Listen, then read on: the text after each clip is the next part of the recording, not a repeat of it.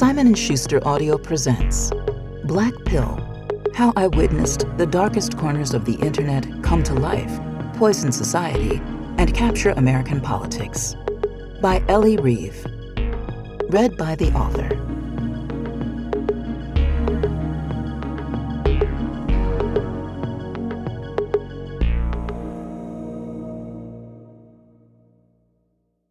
For Jeremy, who kept me alive the whole time. Author's Note I spent my entire teenage years at war. Not a real war, but a psychological war, followed by a legal one. It did not have a happy ending. At the time, when explaining it to my high school friends, I referred to the situation as my evil neighbor. Decades later, I understand what had happened. My family had a stalker. It started when our neighbor built a fence. We'd just moved near Lebanon, Tennessee to a 1970s housing development surrounded by nothing off Highway 109, a road named in a country song about murdering an abusive husband. The neighbor was a man in his early 40s, slim with jet black hair that my mom thought he dyed, narrow eyes, and ruddy skin. The deed to our house showed he was building the fence on our property, so my parents asked him to get a survey of the land. He refused. My parents got one, and it gave him more land. It seemed like a win for our neighbor, but he had to move his fence, which made him angry. We started to notice small acts of vandalism. A light on our driveway was shot out. Someone keyed our car, strange, given we had a long driveway on a two acre lot, and our neighborhood was like a sample sized suburbia dropped in the middle of empty fields miles from town. The plants died. Bolts appeared behind our car tires. A license plate was stolen. The air conditioner was sabotaged. Someone started calling our house at all hours of the night and hanging up when we answered, or sitting in silence. The ambiguity did not last. My neighbor started watching us. We had big windows in the back of the house, and after dark, we could see the red cherry of his cigarette as he sat in his truck and stared. Sometimes when one of us walked outside, he heckled us, mostly that my dad was not a real man or that my mom was an ugly bitch. There are only a couple of confrontations I remember clearly. One was at night when my dad and I walked outside to our garage. The neighbor was sitting on a lawn chair in the bed of his truck, drinking beer and eating popcorn. As we walked down the driveway, he shouted that he was enjoying the big show we were putting on for him. He held out the popcorn and asked if we'd like some. I was 14 years old. I knew he was trying to be menacing, but I didn't feel fear so much as astonishment at the way this adult was willing to debase himself to ruin our night. I remember staring up at his flushed red face as he stood up in his truck bed, way over my head, and thinking, what a strange person. The first real friendship I made in Tennessee was with the neighbor's daughter before the bad times began.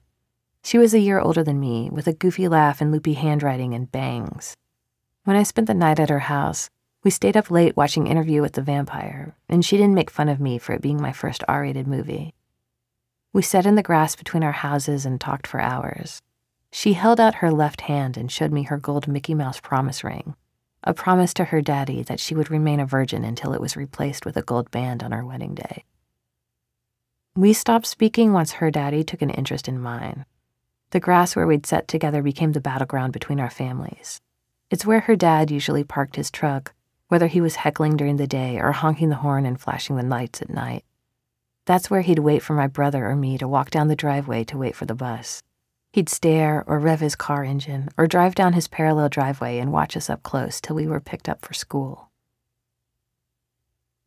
One summer morning, we woke up and saw some strange yellow lines in the grass in the front yard. Over a few hours, the words bitch and whore materialized in three foot tall, all caps letters. The police report notes the complainant is having problems with his neighbor. I wondered if my former friend ever looked at it. We'd joked about toilet papering someone's house, but never did it. Now the joke had been drained of its innocence. A cop stood in our living room and told us, if you don't get it on video, we can't do nothing about it. We never got it, not good enough video anyway. Back then, cameras were awkward and tape was finite. The cop's bureaucratic wisdom became a meme in our house, as did a recurring question You ain't from around here, are you? The game was to riff on each word in the sentence in an absurd Southern accent. The best turned on a high pitched accusatory, you, or captured a cosmic surrender with, can't do nothing. But I was confused. Did the police never solve a single crime before the invention of the camcorder? The harassment escalated. The neighbor liked to play chicken. He tailed my mom as she drove me to gymnastics practice one Saturday morning. When we got to a narrow part of the highway where it had no shoulder, next to a ravine, he'd drive up next to our car. My mom thought he was trying to scare her into swerving off the road. Then he'd drift back behind us, and my mom watched his red face through the rearview mirror. Get lower, she told me, pushing down on my shoulder, in case he tries to shoot us. My parents kept all the neighbor documents in a maroon briefcase from TJ Maxx. They're still there timelines, diaries, photos, court orders, my subpoena, my eight year old brother's subpoena. Escalating police reports for vandalism, stalking, harassment, assault. My dad's letter to their first lawyer, listing the reasons they fired him, including a moment in court when we all heard you ask Mr. Harless whether you or the opposing attorney had the burden of proof. When I sift through the papers now, I see my mom and dad trying desperately to play by the rules. It didn't work. A court order prohibited my parents and the neighbor from harassment or nuisance from talking, shouting, whistling, or other forms of communication or activity construed by the court as being done to intentionally harass. Three days later, my parents filed a petition for contempt detailing how the neighbor had already violated the order twice. The neighbor answered the petition by claiming my parents had continually harassed and maligned him, and he was suing them for $100,000. The judge wrote he did not have the time needed to hear evidence from both sides and sentenced both my dad and the neighbor to 10 days in jail. The sentence was suspended as long as both paid a bond that would be forfeited if they engaged in more harassment. Both sidesism, a menacing political commentary, devastating in real life. My parents' reward for following the rules was to hand over $5,000. The next month, on a snowy January morning, my parents found my cat dead near the end of our driveway. At the urging of their lawyers, they got an autopsy. Findings? A severe trauma is suspected. My mom said the neighbor left a baseball bat leaning against the outside of his house. She thought he wanted us to believe he used it to kill my cat. The cat autopsy is where I usually start when I tell this story. It's hard proof created by scientists, and it provides moral clarity. A lot of people subconsciously assume victims did something to deserve what they got, at least a little. But a household pet getting hurt? That triggers real horror. Though we had not much success in court, the lawyers told my parents to continue documenting every incident with the neighbor. I don't remember him targeting me at all, but according to the diary, he did. Because my dad wrote an entry that says that while I was waiting for the school bus, the neighbor drove his pickup next to me and parked and waved and winked at me. Around this time, my dad taught me some self defense how to break someone's grasp on my wrist, how to carry my keys when walking through the parking lot at night so I could stab an attacker. Put my thumb on the dark circle under his eye, push it inward and up, and I could pop his eyeball out of his socket. I nodded solemnly as my dad explained these maneuvers. But inside, I thought, try it, bitch. I was a 14 year old girl, but I was a gymnast and shredded. I could do more pull ups than all the guys in class. I'd climbed a cliff that left my adult male cousin paralyzed in fear, and then flipped off it into a river. I hauled heavy furniture with my dad.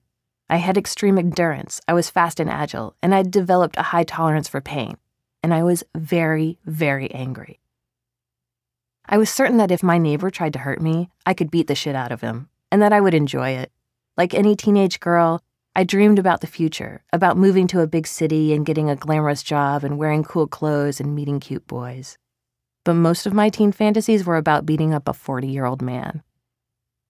In the end, there was no real justice, no final comeuppance, no order from the court that meant more than paper. He moved away.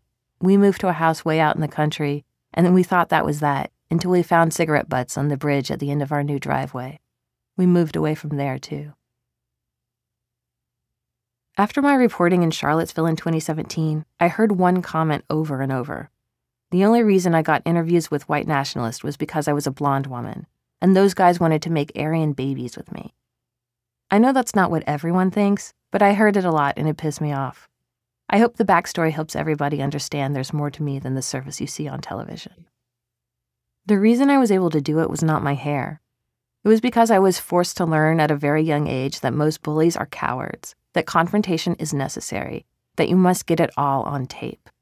When I was surrounded by hostile armed lunatics in Charlottesville, or Oregon or Michigan or the United States Capitol, I didn't tap into my years of experience with shampoo and conditioner.